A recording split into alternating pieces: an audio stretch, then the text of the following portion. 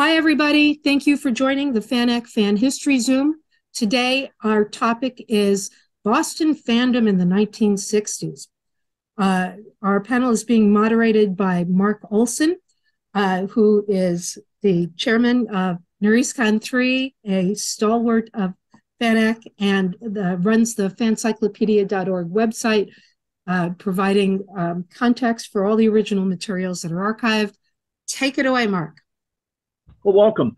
Um, I'm also I'm I'm identified as a Boston fan, but I only arrived, moved here in the late 70s. So I am intensely curious about what what happened to create the vibrant group of people that I met when I moved here, and I'm hoping to find out. Um, I, I'd like you to just go ahead and introduce yourselves. Tell us a little bit about how you got here. Tony, how about you first? Okay, I got into fandom sometime around 1950 before I even moved to Boston.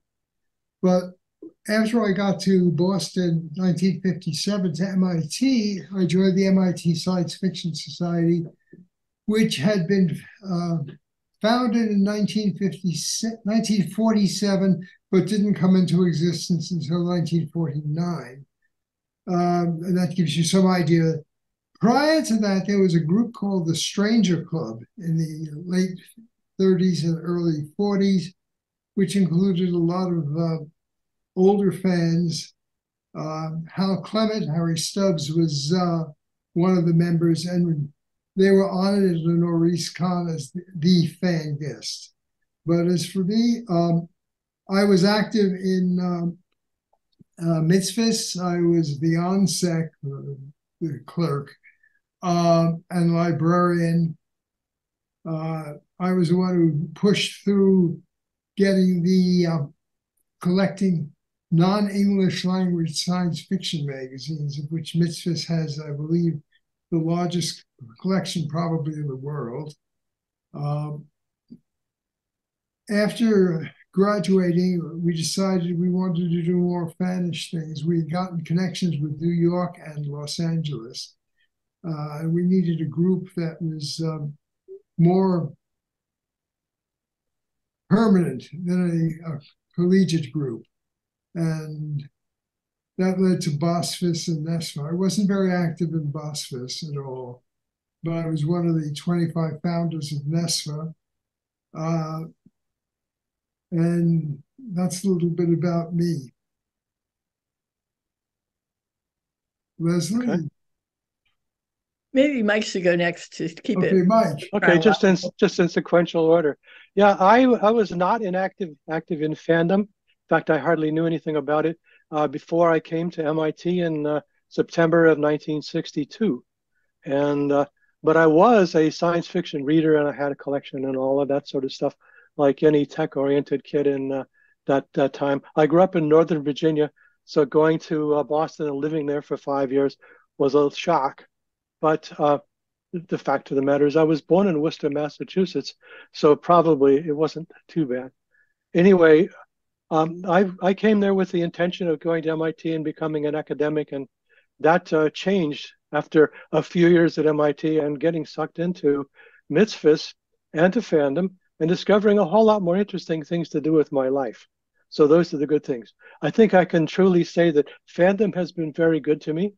I'm still an active fan and I still go to conventions. We went to Pemmi-Con this year. We'll be going to Glasgow next year. Uh, I was active in uh, MITSFS. Uh, when I started, I was simply reading, and by the time I was a senior, I was the, the uh, Skinner of uh, MITSFS, which is the name that we use for somebody who was nominally in charge of the organization. Given how anarchic MITSFS is, being in charge of an organization like MITSFS is kind of a of a yes and no or proposition. But while I was there, I did a lot of things that uh, got us into uh, more active communication with people outside the Boston area, outside of MITS, outside of the MIT Society organization, university in particular. But uh, I managed to uh, get on um, the list and became a grad student at MIT. So I actually stayed for another year and a half after I graduated. And left just at the founding of Mitzvah. So I think I'm one of the original 25 as well. And uh, I did manage to make it to a couple of uh, NESFA meetings before I left for California and never came back.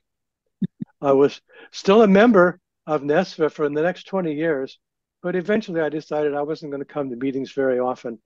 In fact, the next meeting that I made was an unfortunate one, which was just after Boskone had had some problems with some of its attendees.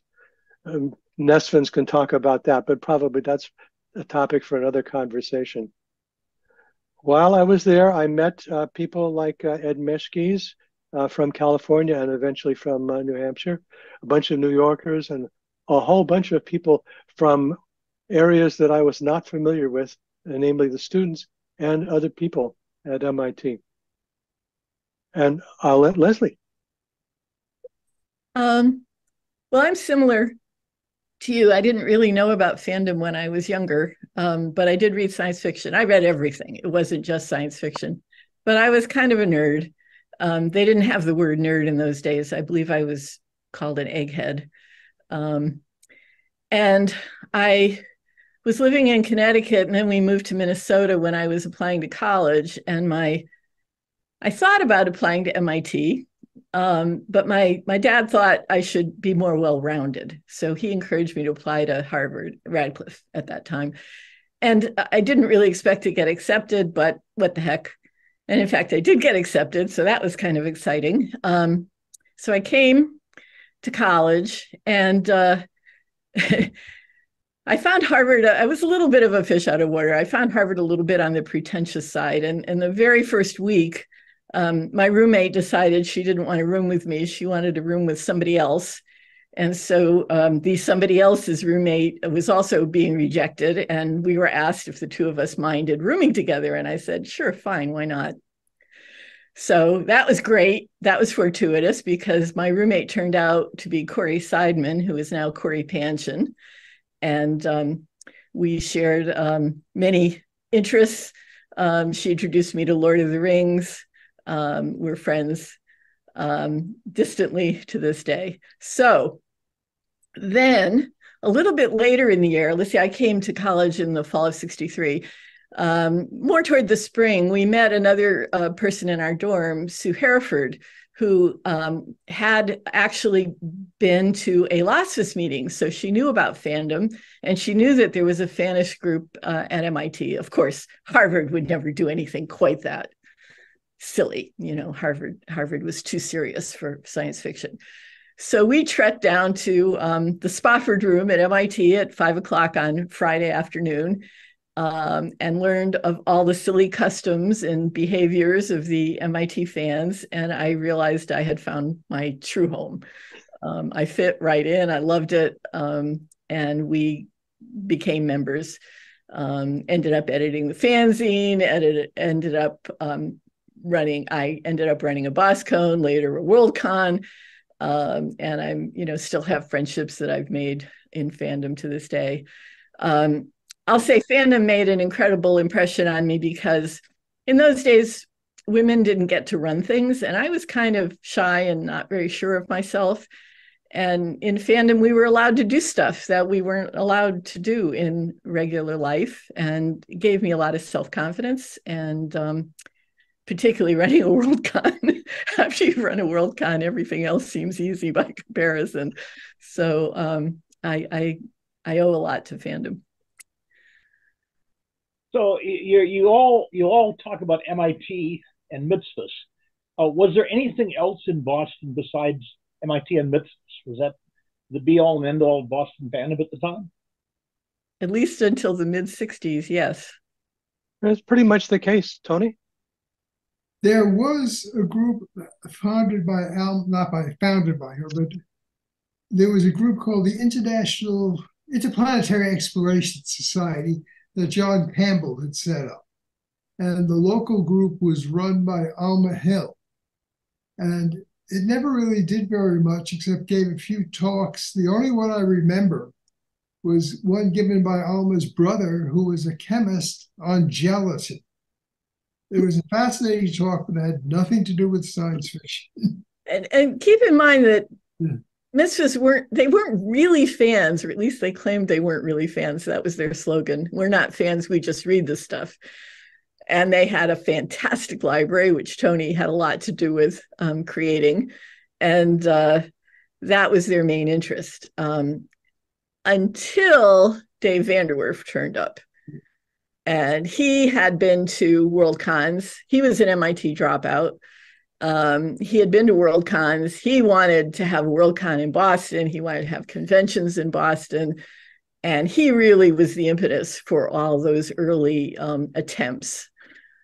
Uh, I call them attempts because some of them didn't work out really well, but it was a beginning. So, so what happened there? Uh, uh, I, I know I've heard of something called BOSFIS, which was involved in that that Worldcon bid, and it, it sort of went away, and that's really all I know. I think it's fair to say that in the in the early '60s, uh, we were uh, people in MITSFS, although we had a fairly insular outlook about uh, science fiction, we slowly became aware of what else was going on, and Van der Werf was part of it, and for sure. And we started reading fanzines, and a couple of us went to conventions, local conventions, and things got more and more interesting.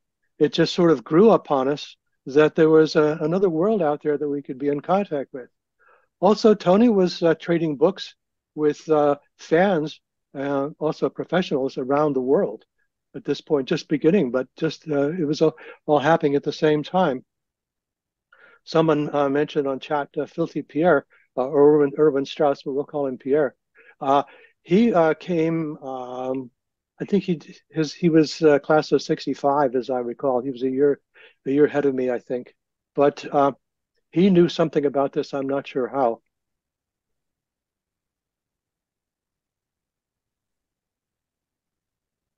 Does somebody else want to say anything? Oh, I, I think there was some um, it got to the point where there were a lot of the movers and shakers in MITSFS were not actually MIT or students.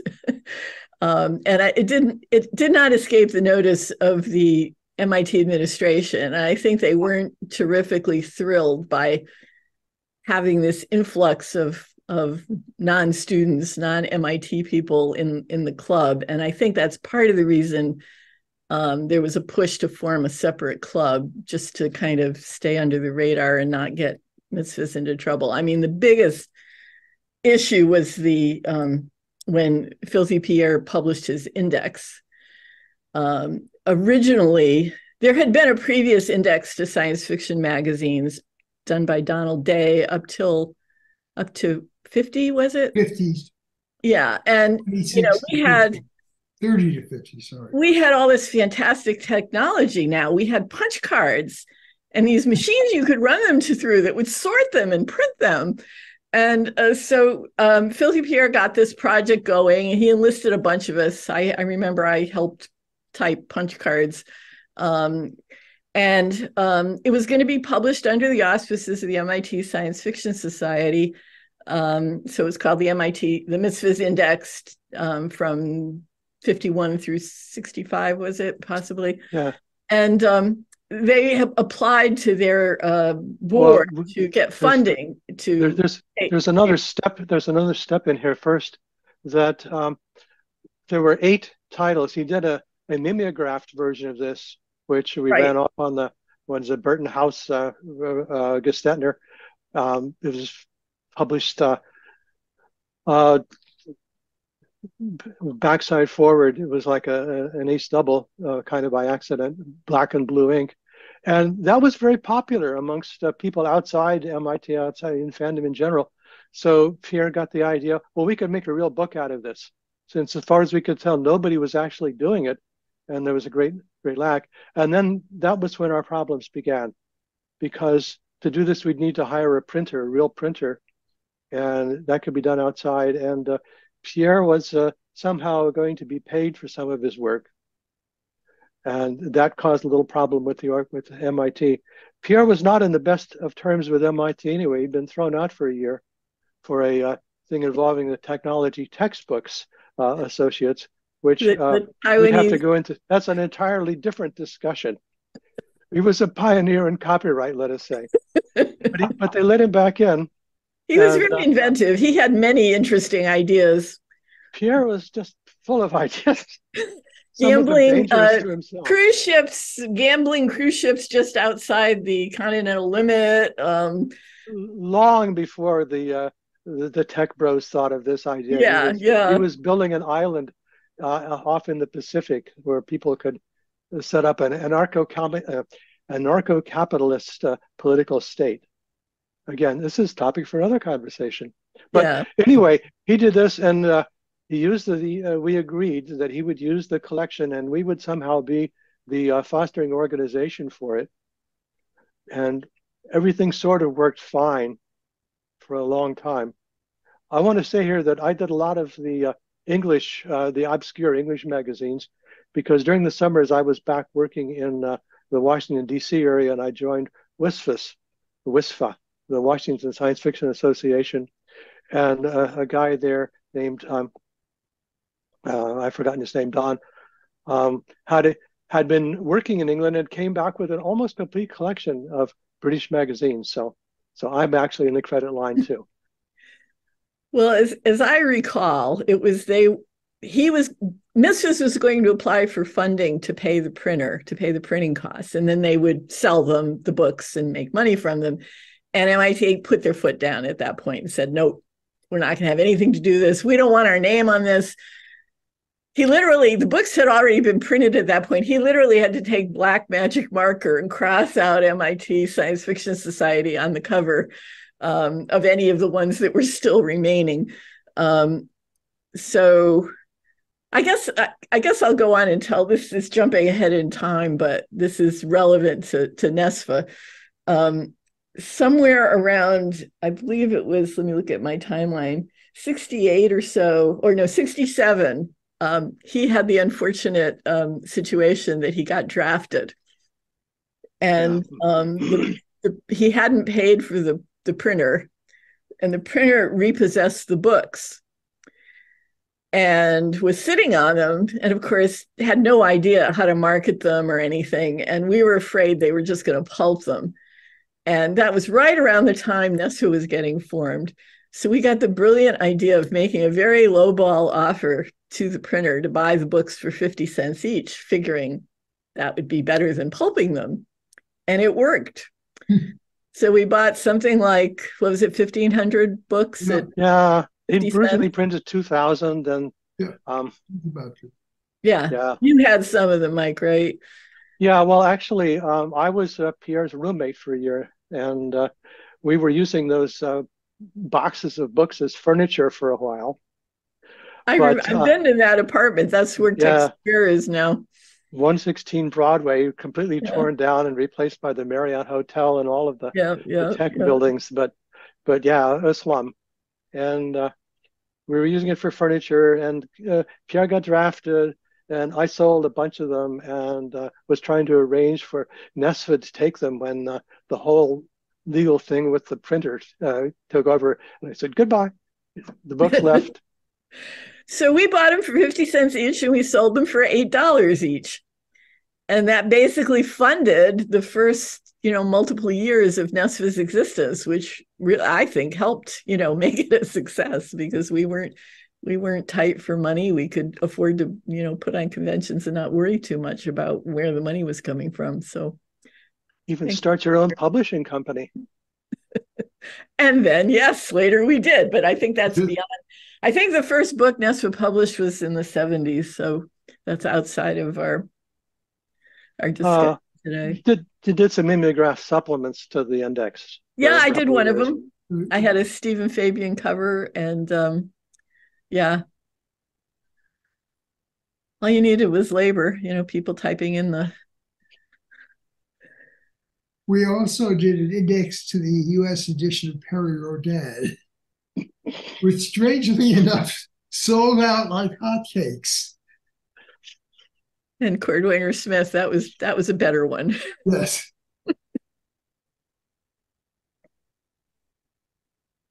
Yeah. So what did we skip so, over when I skipped ahead? Well, we haven't talked about people. Um, well, I came up with some unforgotten people. Um, I don't know. We should we talk about who was who else was active in NESFA? Uh, sorry, in uh, MITSFS at that time. People Sure. who were uh, doing things. I mean, Yeah. Anybody you remember? Um, I don't. Well, there were people like Doug Hoylman Yes. and uh, Jim Dorr are people that I remember Yep. uh, who were who were writing uh, regularly for the uh, Twilight Zine. Uh, Dick Harter, who I I'm really sorry is not with us. He was one of the the stalwarts of MITSFS at that time. Tony knows him better than I do, but I, I got to know him pretty well. Potter died a few years ago. Yeah, it's too bad because we're still his alive. but- website is still there though.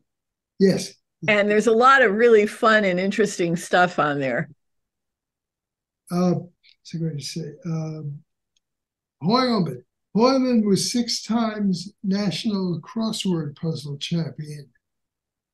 yeah, He, um, after he graduated from MIT, he became an actuary. And do, in addition to doing crossword puzzles, he went on Greyhound bus tours in different cities. That was his major activity. Hmm. Uh, Jim Dorr uh, is still a poet uh, and suppo- and adds to his income by doing computer programming. Um, so to speak. I was Okay. Hunter got married and he went back to South Dakota, got married. I went out there to be his best man. Uh, it was a very small wedding. And then a couple of years later, I went out for his funeral. That was not as pleasant. Uh, other people, do people remember Drew Whyte? Yep. oh yeah, Was he a member of MITSFS? Yes, he was. Yeah. No, he was not. No, not, not a well. He's not an MIT student. no. He's, Yeah, another one of the he's a But Bob, forgotten. Bob Weiner was, who is now uh, Yep. publisher Well- of Donald M. Grant Books. Fuzzy Pink. Fuzzy Pink. She was one of the founding members, Right, and she's now married to uh, Larry Niven. right. With- So Larry and Husband. Alexei Panshin are what we call writers in law. Well, with Fuzzy Pink, we used to um, go to her apartment to watch Star Trek, She had a color TV. yeah, she Yeah. had a. She was the only color TV around. So and uh, she had met Larry at a at a Lunacon, the Lunacon where he won a Hugo, so he was in a great No. mood. Not not, Um, not a Hugo. Worldcon. Uh, It's Didn't she meet him? At, Uh, she Worldcon, NyCon Worldcon, three. met sorry, him at uh, Tricon, I believe. Yeah. NyCon. And so he Oh. came a couple of times to our Star Trek gatherings when he was traveling back to Cambridge to woo her. And um, we got to read um, some of his stories before they were published, which was pretty exciting. I think I remember reading um, the Organleggers at one of those get togethers. So that was fun. And Cory, Cory, of course, married Alexei Panshin, and they went on to publish um, the the two of them together, "The World Beyond the Hill," which won a Hugo. Um, I'm trying to think who else I knew from back then. Well, it's Ed Meyer, who's founded. Yeah. Okay, well, that's that's Uh, that's yeah. No. Well, um, Schultz and Dooley. Oh yeah, Can't forget them. George Dooley and Esther. Esso. Uh, Because They were from BU. Right. he's gone. Yeah. From uh, Ro- from Rochester, in New York. Mm. The Talking Beer Mugs of Rochester. Um, J. Martin Graetz, who uh, was uh, you you knew him, I think. Yes, he Uh, was he was- even before us. Uh, he was an early member, and he actually had published a science fiction story set in MIT called Building Nine, which was the headquarters for the Department of Magic. Um, At the time, there was no Building Nine at MIT. All the other there was all no the Department of Magic at that time either. There all- was um, all the was- section, all, all of MIT is divided into buildings by number, or was. Right. It's now changing, but uh, it's uh, and the building ten was the the building over the central dome. The first, uh, you may see a picture of it later, but building nine never existed.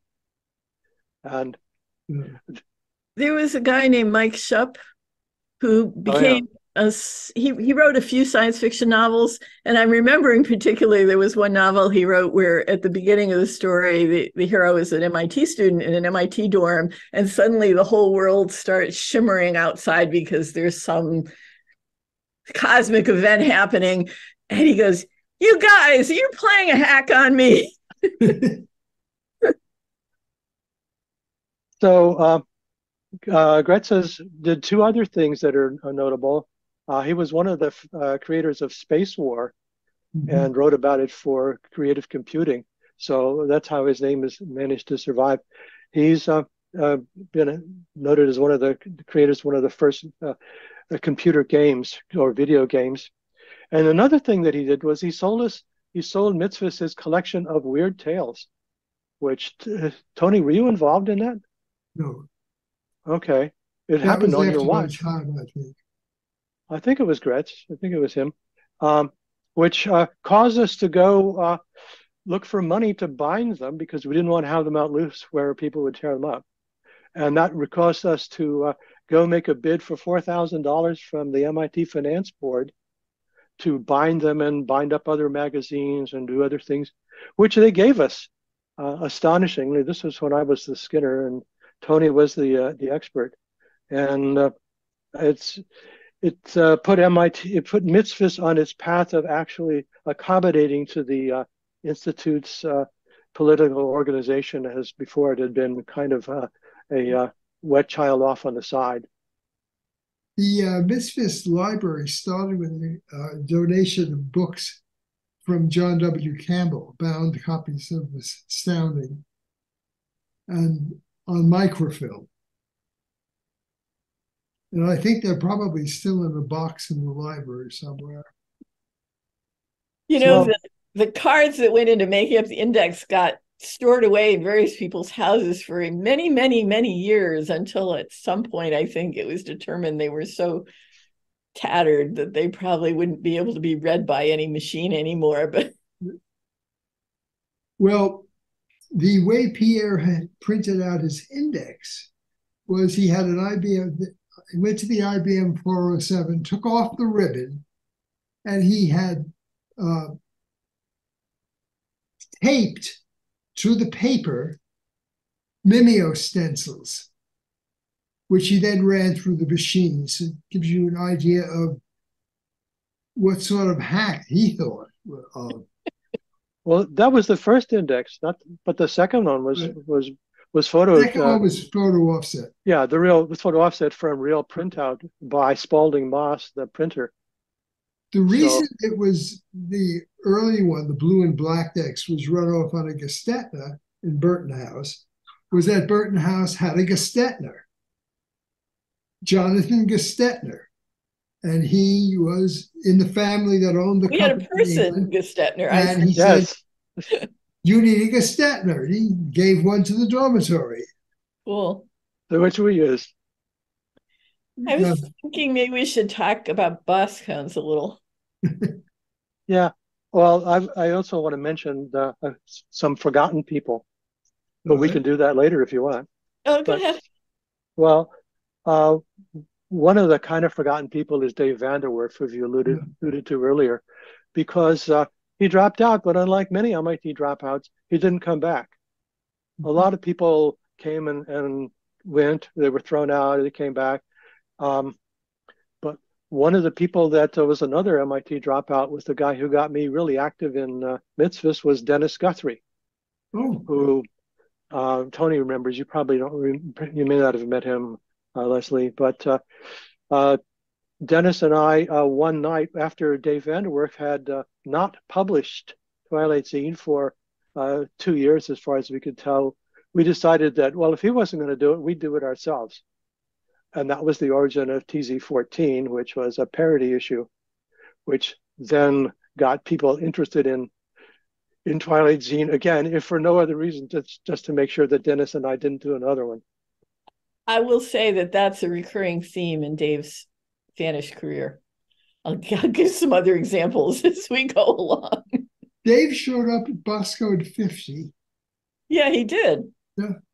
After being away for years and years and years. Yeah. there's some uh, bookseller who uh, uh, ran across. He was doing a package. I can't remember his name, but he was he had a package to sell Boston fanzines to a couple of universities, and he ran across the mention of Dave Van der Werf and said, "Who is this guy?" And I think did he go to some NESFA meetings too? Brad, I think Brad with an H something. Oh, Werner. Huh? Ver- Vertner. Um, that doesn't sound right to me, but. Okay. There Sorry, was I a couldn't Brad think of his name. that was from Harvard who was collecting stuff for a Harvard library. Yeah, and also um, Oh, Brad Verter.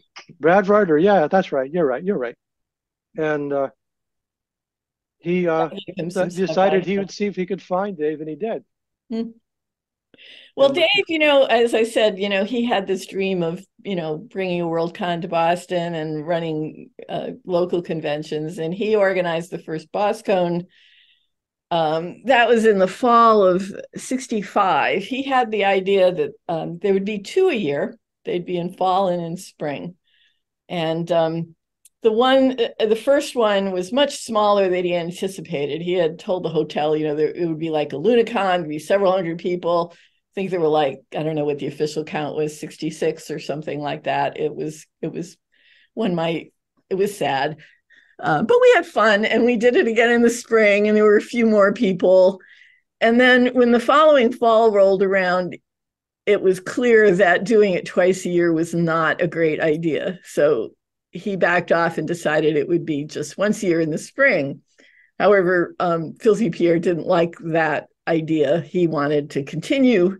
So he held one in the fall um, that was really not what we think of as a convention. It was at MIT, it was a series of speakers. It wasn't like people were staying in a hotel. I did not go to that. I didn't consider it a Boskone. And um, at, at this point, it's the only Boskone I never attended. And so I can't say I've been to every Boskone. And had I but known, I would still be here 60 years later. I would have gone, but I didn't. So, well, I went to it. It was easy, and uh, John Campbell was uh, speaking. I think he was sponsored by MIT, and I built. Uh, Pierre built it around him and some other tech speakers, and it was fine. And there weren't really parties. It really wasn't a convention, but there were parties for those of us who were actually involved in it. But I missed the first one because Mhm. uh, after because I was uh, in '67. I was uh, I I was working on my uh, master's thesis, and among other things, I went home for a vacation in uh, the Northern Virginia area. And uh, during that time, Boskone One was organized and held before I could get back. So, so that's why I'm not in the first Boskone, Right. but I was part of Boskone Two and Boskone Three, and then I was gone. Oh, there was a question from the uh, from the group uh, about George Flynn. When when did he get involved? Uh, George was uh, involved after NESFA was founded. yeah, Recall he was very active in on the Noreascon 2 uh, bid and working for Noreascon. yeah, but I think it wasn't until the 70s that he really Yeah. got into things. Uh, I want to mention. question- I, I was going to say I have two more quick quick mentions. Mhm. Uh, Professor Robert Rafeus. Bob Rafeus was our faculty advisor, which I didn't even know we had until we had the contretemps with uh, uh, Alma Hill, and uh, she asked to talk to our faculty advisor, and we discovered who he was. And he was a great guy. And in fact, uh, he and I got to talking, and I ended up uh, working for him as a grad student and did my thesis for him. So I'm happy. He was a science fiction fan, of course. Who else was going to be the faculty advisor of the science fiction club? And the Galvin brothers haven't been mentioned, Mm. and they were involved. They were among our first uh, outreach uh, members of the or of BOSFOS, and they were really good guys. Yeah, Paul's on the um, one of the seven people who signed the incorporation papers that I was just looking at this morning. So yeah, he and he ran, I think, Boskone three or four somewhere. uh, I'm not three because that was Pilsy Pierre. Four Four probably. Four, I think. I think Yeah. four. And I don't know what happened to them though. After. One, I think, died in an auto accident, but I don't know which one it was. And I Mm. don't know if that's actually what happened. Um, you, you, But they you were mentioned very active in um, Noreascon one. Yeah. You, you mentioned Asimov. Uh, Yes. I, I, I, I, when I moved here, there were stories about the good old days when Asimov was a member. Uh, what what was his involvement? Isaac attended the NESFA meetings. Well, Asimov and Hal Clement uh, Yeah, came to uh, MITSFS's uh, picnics, which we had every spring. And uh, gosh, Fuzzy, Fuzzy, I remember one year was must have been 65 or 66. Fuzzy had a, a Polaroid camera and took a lot of color pictures of the of the picnic. And I wonder if she still has them. If the if she and, and, if, and Larry have them somewhere, those would be That great. would to be see. great. We Yeah. could see those. Anybody's in contact with I them. think um, Isaac wasn't never involved in convention running per se. You know, and he would come by and talk to people. Um, Hal was more would actually volunteer to do stuff. In fact, he was originally the treasurer of Noreascon One until one of his books got nominated. And in those days, we didn't have a separate Hugo committee. In fact, I think that was one of the impetuses to have a separate Hugo committee. So he felt he needed to resign from the con committee. He was going to a Hugo nomination. Um, so Well, actually, yeah, he was going to withdraw his book from contention. Ah, Oh, that is that was Wow. even well. In any case, convinced him to resign instead. So we got someone else to fill in, and um, yeah, he, so he was. He, they were they were both good guys. Fred Isaacs, I think, became treasurer. Yes, he did. That's how I got sucked in because I was dating Fred at the time, and I ended up being assistant treasurer, I guess. But we let Harry re- work on registration. Yeah. Noreascon one. Are there any, When did any other when did- questions, Mark? when did Spike McPhee's bookstore pop up? I, I, it was certainly here be, for quite a while by the time I moved here. Uh, this that was a couple of years after. phone ringing or something? What was it, Tony? There's some noise. Um, I was typing, maybe that heard. I was typing on the chat to Edie. Maybe you heard that. Um, Spike was uh, was NESFA uh, after the transition. Yeah. So I, I I don't I only met him years later. But he had a bookstore called the uh, Million Year Picnic, was it? In- in Was he involved in Noreascon one, Tony? What? Was he involved in Noreascon I one? I don't recall. I don't think so. Uh, Okay. One of the people involved in Noreascon One who dropped out of Fed was uh, Stu Brownstein. Oh, right.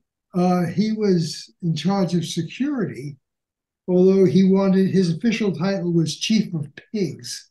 If That's you true. remember those, those days, the theory was that anybody who wanted to run security was unfit to run security. That's that's Stu. Well, Stu Brownstein moved out to California. Uh, he Yeah. became active in uh, local fandom in uh, Northern California, and Mm-hmm. I knew him and his wife for many years. And uh, in fact, uh, he ended up working. uh, This is really long connected story, but a company I worked for, the the successor to that, Stu, uh, worked with the, the guy who'd run that, and uh, they they hired fans. That's a whole another thing. We should talk about Schlumberger Palo Alto research someday on a FANAC thing because uh, the guy who uh, ran that uh, met, met the photographer Katine at uh, the uh, first at the second DISCON and uh, eventually wound up hiring lots of fans for his AI research lab. And Stu Brownstein partnered with him to do another company later on. But Stu stayed in fandom Yeah. just on the West Coast. Going back to MITSFS, uh, we did bring in some writers. When I was about nine years old, my father, who was in the was an electrical engineer, was in a radio club. He, was a ham uh, called letters 2RY, which gives you some idea of how long ago that was. Wow. And he came back and he handed me this a copy of Needle by Hal Clement and said, My friend in the radio club said you would probably enjoy this. It doesn't it's got real good sides in it, and it doesn't have a lot of romantic trash. Well, it wasn't until years later I found out who his friend in the radio club was. It was a guy called Hugo Gernsback. Uh, and MITSFS wanted to bring someone up to speak, and I said, "Well, I called my father and said, do you think we can get Hugo Gernsback to come up?" And he did, and brought his speech, which he had written out, and passed out copies. And basically, we all followed along with responsive reading. but before he gave his speech, he just natted on for an hour roughly about knowing people like uh, uh, Thomas Edison and Nikola Tesla and what they were like and some of their idiosyncrasies. Uh, which was, of course, much more interesting than his talk, which was called A New Name for Science Fiction. My dad's the ham radio guy. He gave MITSFS a huge amount of money to buy duplicating things so we could produce Twilight Zine. Of course, it had, didn't have a name then, but that's where the money for the Gestetner that we, uh, the Mimeo we had for doing Twilight Zine. Oh, wow. Yeah. As I say, my dad was a big uh, ham radio guy, and he was a big Gernsback fan. And there was one time when I was a kid, I remember he was on TV being interviewed, and my dad called me over to watch it. And he later gave me a, a, gift as a birthday present, one of um, Gernsback's original books. So um, yeah, I would have loved to have been on that in on that. Ralph. Yeah. Yeah, Ralph. Yeah. yeah.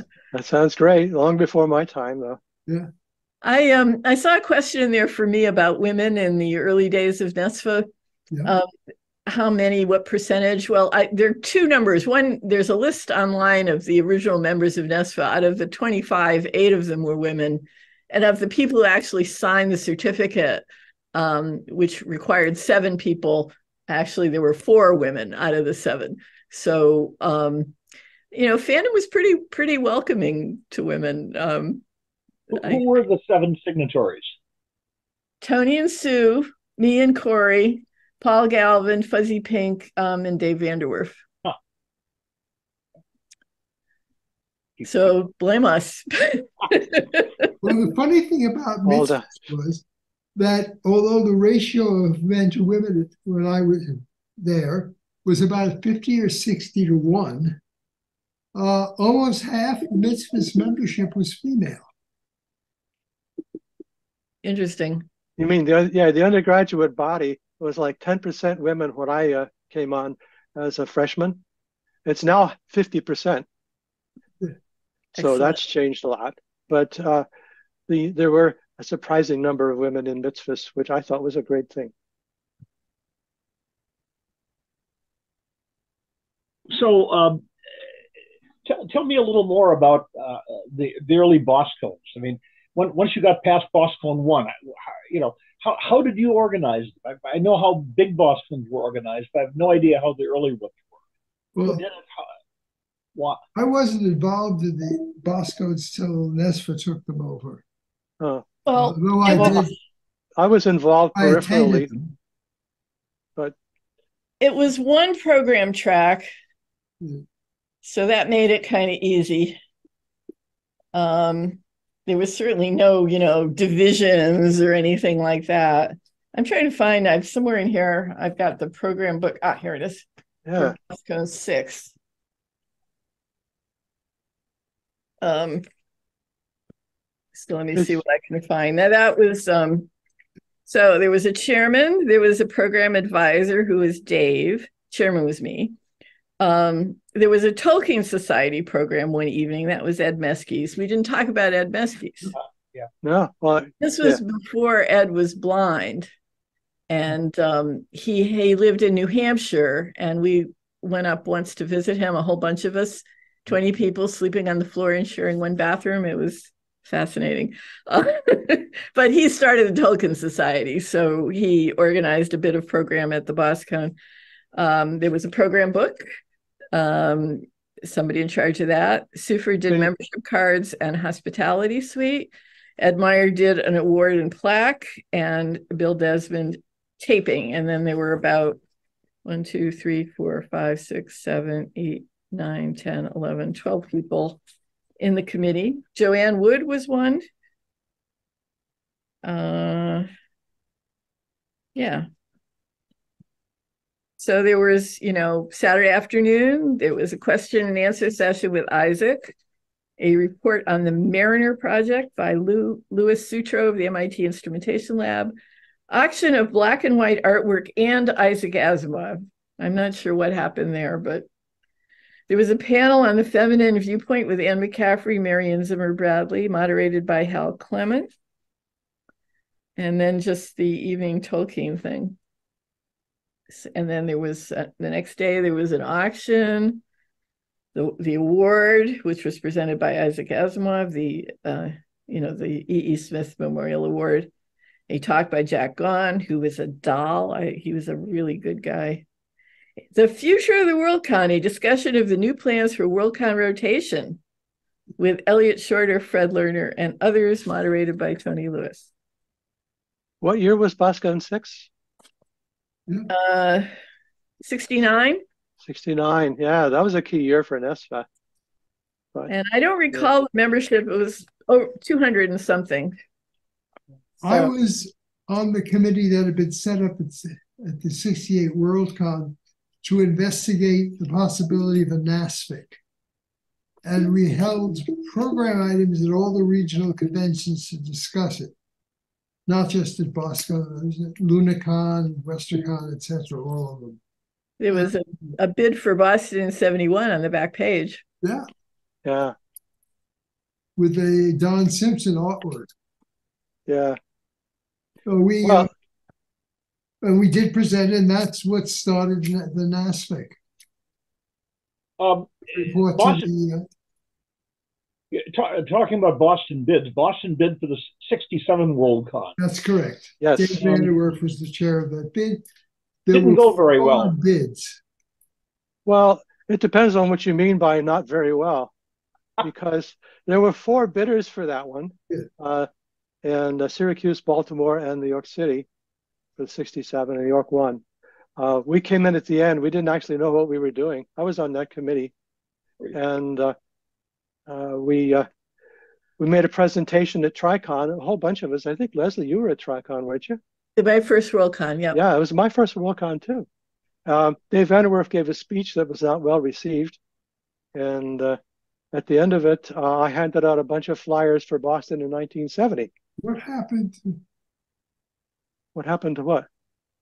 all of a sudden my machine is, We can hear you. oh, there it is. Okay. So I just wanted to throw in a correction. I saw, I'm, I'm sorry I haven't read everybody's comments, but every so often I catch one. Um, Ed Meskys didn't, according to Fred Lerner, Ed Meskys didn't start the Tolkien Society of America. He took it over from Dick Plotz. So I, Yeah, I that sounds have right. that correction. Sorry.